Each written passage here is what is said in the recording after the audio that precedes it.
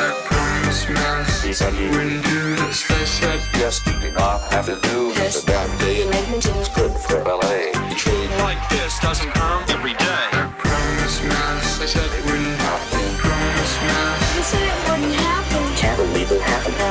It's laughing.